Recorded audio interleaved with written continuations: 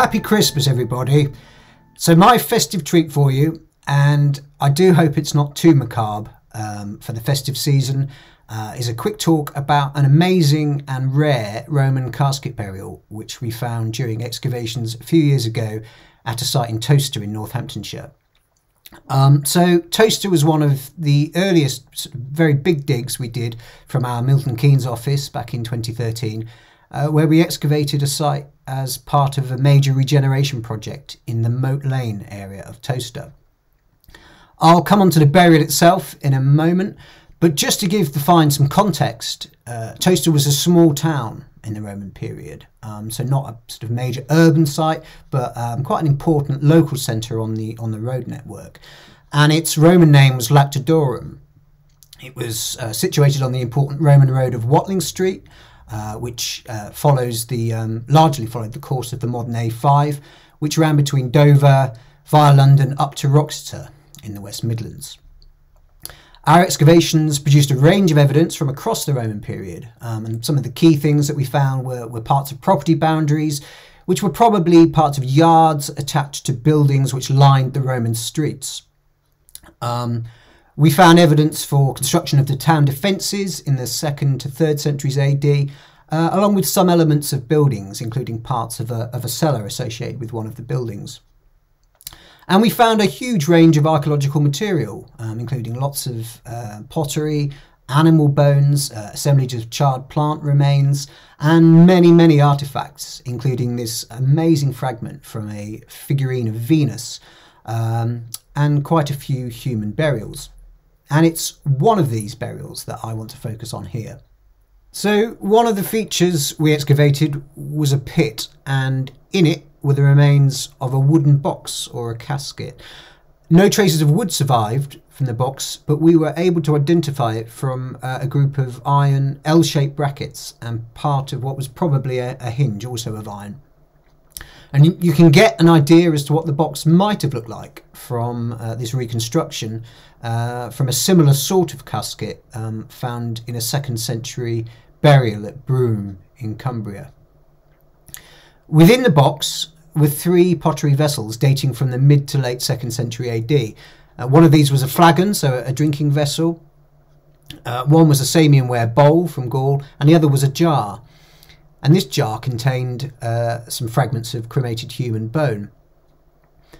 So we took the jar um, containing the bone back to our finds lab and it was excavated there very carefully in spits, so in layers. And we were able to tell from the remains that the person buried within the casket, um, within the jar, within the casket, was certainly an adult uh, and was possibly a male.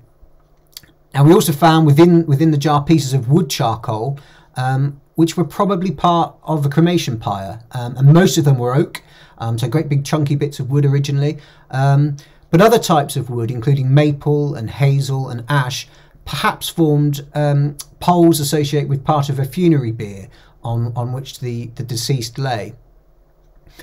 Now, really interestingly, alongside the human bone, we also found parts of two different chickens and the sternum, so the sort of chest part of a, of a woodcock, which is a type of game bird.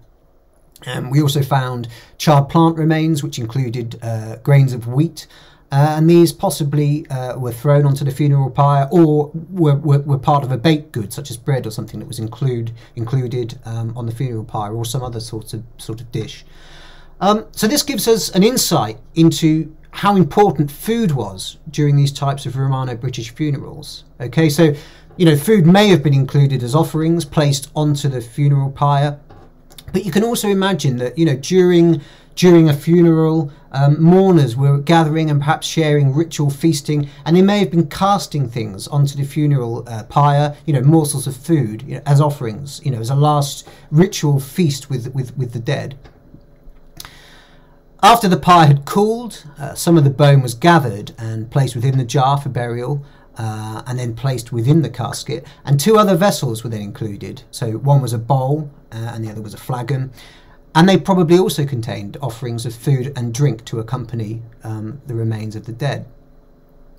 Now it's worth pointing out that the weight of the human bone within the jar It was less than 400 grams, and that is far less than you would expect from a full adult. Okay, and this is actually a really very common aspect of Romano-British cremation burials. You often don't get that much cremated bone.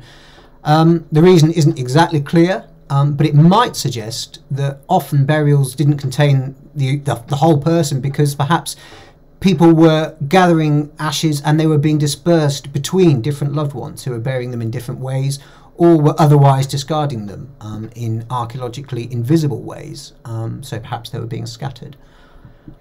So, one of the things that's really interesting about this burial is that while cremation is a, is a very common burial rite during the second century um, in some parts of Roman Britain, not everywhere, but um, in a lot of places it is, um, especially in towns and at Roman military sites.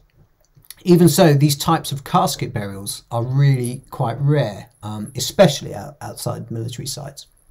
Now, where they do occur, they're really quite regionally restricted. Um, so this map shows examples recorded from Roman rural sites, so not from towns or from, from, from military sites. But you can see that there is a very clear concentration um, in this distribution within the South Midlands and, and the South. So our to- Towcester individual fits within this pattern, and, and they're being buried in what appears to be part of what is a regionally very distinctive burial rite, but nevertheless still something which is a minority rite within within this region. Not everyone is is is adopting this. Now again, you know, grave goods, uh, which we have here, obviously, we have additional things being placed within the casket alongside the um, the, the, the, the, cremation urn. Um, these are an exception rather than the than the rule uh, within Roman burials. Um, so the inclusion of these other offerings, so what it, probably food and drink within a within a bowl and a flagon in the casket, they mark this adult out, um, who was probably a man or, or possibly a man. Um, they mark him out as an individual of some distinction. But at the moment, it's very difficult for us to say much more about about them. Um, but still, you know, that is quite an amazing amount of information we've we've got from our from our box. On that happy note, um, I hope you've enjoyed it. Thank you for listening to me. I'd like to to end by wishing you all a very Merry Christmas.